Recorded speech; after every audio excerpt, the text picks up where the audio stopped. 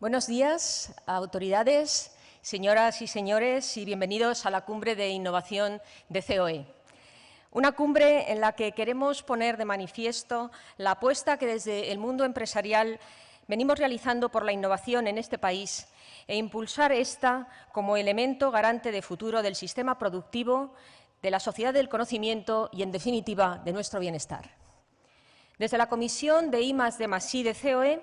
identificamos en la innovación un pilar fundamental para el crecimiento sostenible y equilibrado de nuestra economía y, por ello, ahora más que nunca, resulta necesario impulsar el compromiso de todos, Gobierno, organismos oficiales en la materia, universidad y empresariado con la I de. Representantes de todos estos campos están presentes en esta cumbre a través de un programa que hemos estructurado en tres segmentos. El primer segmento con los bloques de apertura y de introducción, en el que contamos con la participación de nuestro anfitrión, presidente de Telefónica, don César Alierta, y de la secretaria de Estado de I de Masí, doña Carmen Vela, y en el que tendremos también la oportunidad de escuchar una conferencia magistral de uno de los principales investigadores de nuestro país, el catedrático de Biología Molecular de la Universidad de Oviedo y codirector en España de uno de los más ambiciosos proyectos científicos de la historia, la secuenciación del genoma humano, profesor López Otín. En el segundo segmento debatiremos en dos mesas consecutivas el estado de la situación y las palancas de empuje con una selección de empresas relevantes en el ámbito de I D que operan con diferentes perfiles y grados de madurez en sectores tractores de innovación. Además, nos acompañan los respectivos presidentes de CSIC y CDTI. Finalmente, en el segmento de conclusiones y clausura contaremos con las intervenciones del ministro de Economía y Competitividad, don Luis de Guindos, y del presidente de COE, Joan Rosell, quien presentará las conclusiones clave de este encuentro. Finalmente, tendremos el honor de contar con Su Alteza Real, el Príncipe de Asturias, para clausurar este acto. También les anuncio que, con motivo de esta cumbre, COE ha elaborado un informe que incorpora un análisis de la situación actual de I de en España y un breve número de propuestas que emanan de nuestro tejido empresarial.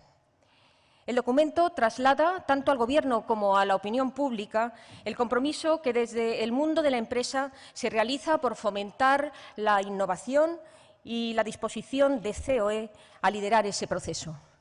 Un ejemplar les ha sido entregado en el mostrador de acreditación y además el documento lo encontrarán en formato electrónico en la web de COE.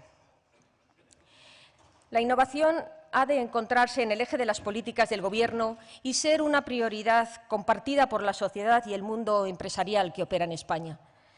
La Unión por la Innovación, una de las cinco iniciativas emblemáticas de la Estrategia Europa 2020, tiene como objetivo mejorar las condiciones y el acceso a la financiación para investigación e innovación, asegurando que las ideas innovadoras se puedan transformar en productos y servicios generadores de crecimiento y empleo. Este objetivo se materializa cuantitativamente en que el total de inversión de I D pública y privada alcance en el año 2020 el 3% del Producto Interior Bruto de la Unión Europea. En nuestro país, tras una década de crecimiento continuo, el gasto en I D ha disminuido del 1,38% al 1,30% del PIB entre 2009 y 2012. Tampoco nos acerca a los indicadores europeos la distribución del gasto entre la parte pública y la privada, donde habrá que hacer un mayor esfuerzo para que esta última se acerque a los porcentajes de otros países líderes en innovación. La profunda crisis que estamos empezando a dejar atrás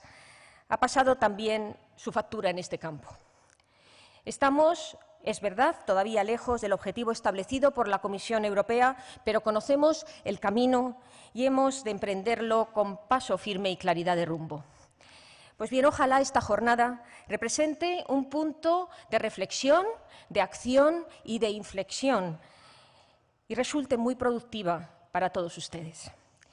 Les dejo ya con don César Alierta, presidente de Telefónica, a quien quiero, en nombre de COE, agradecer muy sinceramente todas las facilidades y la generosidad que su empresa nos ha brindado para la organización de esta cumbre y que les va a dar la bienvenida a esta su casa. Gracias a todos por su asistencia y su atención y disfruten mucho de esta jornada.